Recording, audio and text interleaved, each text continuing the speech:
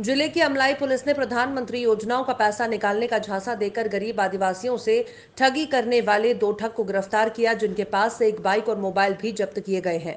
पकड़े गए दोनों बदमाश लोगों को एसबीआई बैंक का कर्मचारी बताकर योजनाओं के नाम का पैसा आने की बात कहकर मोबाइल ऐप की मदद से पैसा आहरण कर लेते थे।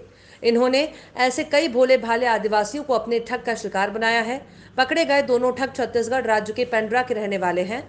जो लगभग 30 से ज़्यादा व्यक्तियों के साथ प्रधानमंत्री की योजनाओं के नाम पर ठगी कर उनकी रकम अपने खाते में जमा कराते हैं।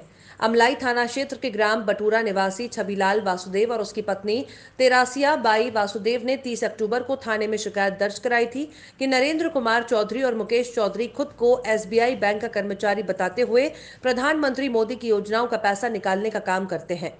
आपका सूखा राहत का दस दस हज़ार रुपए निकाल देंगे, कहकर दोनों ने पीड़ित से उसका और उसकी पत्नी का आधार कार्ड और खाता नंबर देने पर दोनों व्यक्ति अपने मोबाइल में ऐप का इस्तेमाल मोबाइल नंबर डालें, आधार कार्ड नंबर डालें और अंगूठा लगवाएँ।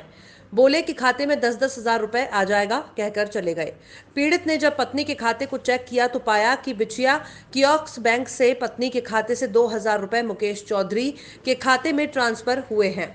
शिकायत के आधार पर अमलाई पुलिस ने दोनों ठगों के खिलाफ धारा 419, 420, 120 बी के तहत मामला कायम कर दोनों आरोपी गणों को गिरफ़्तार कर लिया है। ये एक गैंग जो है दो लोगों का पकड़ा गया है, जिन्होंने अपने को शहडोल एसबीआई ब्रांच का कर्मचारी बताया, जबकि ये रहने वाले पेंड्रा रोड के हैं। और ये गाँव के लोग जो गरीबी रेखा के नीचे हैं, उनको संपर्क करते हैं। उनको बताते हैं कि हम आपको प्रधानमंत्री योजना का लाभ दिलाने के लिए बैंक की तरफ़ से आए और हम आपको सूखा राहत का या आवास योजना का, हम आपको दस हज़ार रुपये, बीस हज़ार रुपये इस तरीके का प्रलोभन देते हैं। उसके बाद उस व्यक्ति से बोलते हैं, ग्रामीण से उसको बोलते हैं कि आप अपना आधार कार्ड लेके आइए, हमें फॉर्मेलिटी पूरी करना है। और आधार कार्ड लेके और फिर एक इनके पास में डिवाइस है फिंगरप्रिंट स्कैनर है, जो कि जो कि मोबाइल से जुड़ के और एक पे नियर बाई एक ऐप है। उसके माध्यम से ये जो है, उसके खाते में जो पैसा होता है, उस खाते के पैसे को अपने खाते में ट्रांसफ़र कर देते हैं। जब हमने इनके बैंक से जानकारी ली इनके बारे में तो हमें तीस ट्रांजेक्शन्स हमें और सस्पिशियस मिले। माने इन्होंने तीस लोगों को और ठगा है।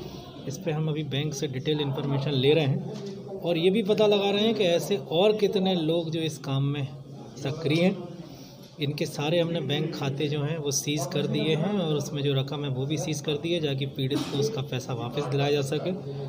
और लोगों से भी ये अपील है प्रशासन की तरफ़ से कि इस तरीके से अगर कोई शासकीय योजना का लाभ दिलाने के लिए आपके घर आता है, आपका